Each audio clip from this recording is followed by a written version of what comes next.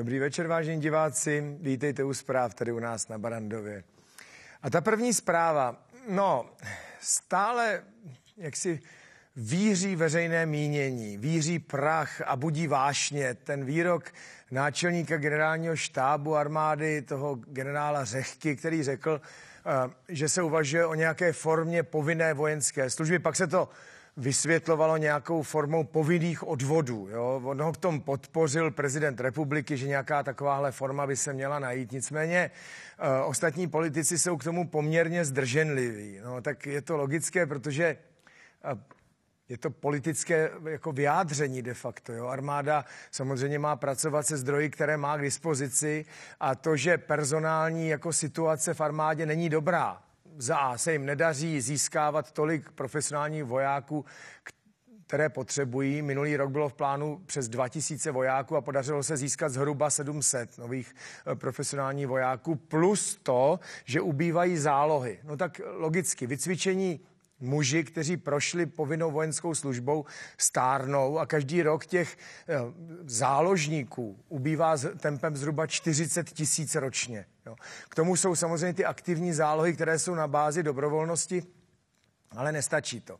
Eh, generál Řehka tuhletu jako politickou bombu vypálil, možná bez vědomí toho, co všechno to způsobí. Eh, veřejnost se k tomu staví velmi rezervovaně a eh, je to teď tak jako zhruba půl na půl. Jo? Nějaký průzkum, který byl uveřejněn, říká, že 43% lidí by bylo pro nějakou formu eh, povinných odvodů nebo podobně, 45% lidí ne a zhruba 2% lidí eh, těm to bylo jedno. Podobný průzkum teď proběhl u středoškoláků. Jo? To jsou vlastně mladí lidé, kterých by se to de facto týkalo nejvíce, jo? protože jsou to přesně mladí lidé, kteří se blíží tomu odvodovému věku, to znamená 18 rokům. My, kteří jsme ty povinné odvody máme za sebou, tak si pamatujeme, eh, jaké to je.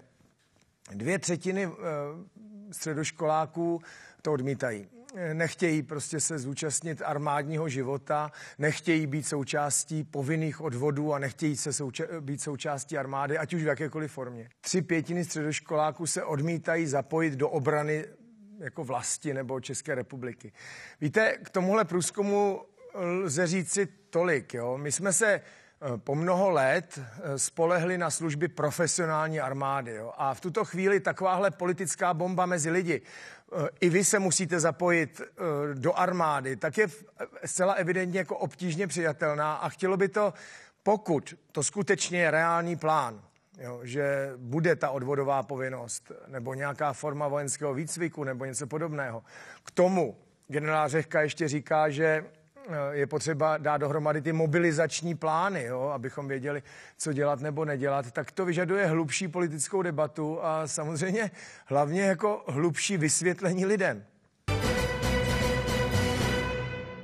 Stávající jednání poslanecké sněmovny, a to je tady další zpráva z parlamentu, je poněkud divoké. Jo. Andrej Babiš převzal iniciativu jako šéf největší opoziční strany a navrhl několik, myslím, že dokonce 16 jako bodů k rozšíření programu stávající schůze. A jeden z těch bodů, které řekl, je výzva prezidentovi Pavlovi a premiérovi Fialovi, aby uspořádali mírovou konferenci o Ukrajině. Jo. Tím Andrej Babiš dal jas, jako jasně najevo, že je na čase z jeho pohledu začít jednat ne na, na úrovni Rusko versus Ukrajina, ale uspořádat mírovou konferenci, to znamená uh, konferenci zúčastněných států. Předpokládejme, že, že by to byla konference významných států, členů NATO nebo dalších států a tak, uh, kteří by debatovali o tom, jak ukončit ten eh, konflikt na Ukrajině. I když vlastně zvláštní je to, že slovo mír eh, je teď trochu toxické. Samozřejmě je toxické je slovo mír za cenu toho, že Putin si nechá to, co ukrad. To, to samozřejmě Putinův mír toxický je, ale jednat o tom, kdy, jak a za jakých podmínek by bylo jako přijatelné ukončit konflikt na Ukrajině, není od věci. Jo. Mimochodem, Andrej Babiš dnes v poslanecké sněmovně jasně řekl, že si nepřeje, aby Ukrajina byla v Evropské unii. Tím reagoval na, ty, na ten začátek těch rozhovorů mezi Ukrajinou a Evropskou unii. Ten začal, to skutečně bylo schváleno, ale to je běh na dlouhou tráť. Jo. Evropská unie samozřejmě má spousty podmínek týkající se fungování ekonomiky, transparentnosti veřejných zakázek, fungování právního státu, justičního systému, represivního systému státu, ochrany životního prostředí a tak dále, a tak dále, a tak dále. A teprve teď, teď, teď se začaly ty základní rozhovory, aby se zmapovala situace Ukrajiny, mimochodem i dalších států, kterých se to jako týká. Ale e, do vstupu Ukrajiny do Evropské unie je skutečně strašně daleko. Jo? To, to se bude počítat na léta spíše desetiletí, jestli se to vůbec má stát. Andrej Babiš e, jako říká, že to nepřeje. Jako jak, co ho k tomu vede, jo? jaký konkrétní informace. A nebo prostě nechce naštvat Rusko. To mi zřetelný teda úplně není. A další zpráva je z Pražského hradu. Pražský hrad za Miloše Zemana, respektive Pražský hrad. Pražský hrad má dobrou pověst jako budova, jako ta krásná, jako neuvěřitelně rozlehlá budova, respektive komplex budov, který tvoří Pražský hrad, včetně katedrály a tak. To je jedna z nejkrásnějších památek podle mého názoru světa. To, co se děje uvnitř, za to ta nádherná budova samozřejmě jako nemůže. Jo. Uh, ona tam sídlí kancelář prezidenta republiky a prezident republiky sám. Za dob eh, Miloše Zemana eh, vlastně média a de facto část veřejnosti nenechala na fungování té kanceláře nic suchou. Týkalo se to neprůhlednosti zadávání veřejných zakázek, jo, neprůhlednosti uh, struktury okolo prezidenta jejich, jeho poradců Martina Nejedleho, fungování samotného kancléře, to znamená Vratislava Mináře, respektive nefungování, respektive do jaké míry ti lidé okolo Miloše Zemana si hájí svoje, dejme tomu, biznisové zájmy, do jaké míry hájí, hájí zájmy České republiky, jo, když jsou takhle blízko hlavě státu. S tím souvisely i takové temno týkající se informací zevnitř. Novináři mají právo, stejně jako, spoust, jako ostatní, žádat o informaci podle zákona 106, eh, takzvaná 106, Pražský hrad za dob Miloše Zemana i zhruba dvě třetiny vždycky odmítl. Odpovídali v zásadě na jednoduché věci. Některé věci se spoplatňují, některé se nespoplatňují, ale na takové ty hluboké, hlubší věci, ať se popíše, jaká pracovní smlouva eh, je u toho nebo onoho poradce, eh, co se děje, co se děje v Lánské oboře, případně jaký zdravotní stav prezidenta je a tak. Tyhle ty otázky zůstávaly bez odpovědi. Očekávalo se od nového vedení státu, to znamená prezidenta Pavla, no, no, od nové hlavy státu, aby bylo přesněji to řečeno, jako změna přístupu. No, tak za rok 2023 doputovalo v naprosté většině od novinářů 215 žádostí o informace, s tím, že dvě třetiny byly zamítnutý úplně stejně jako za Miloše Zemana. Takže eh, takhle, eh, z tohoto pohledu žádná velká změna nenastala. Další zpráva. Existuje firma Provident Financial, což je jeden z takových velkých poskytovatelů, nebankovních půjček, který se nechal zpracovat průzkum, čeho se lidi v Česku nejvíce bojí z pohledu ekonomického. A zajímavé je, že střední a starší generace se bojí nejvíce ze všeho ztráty práce. Jo.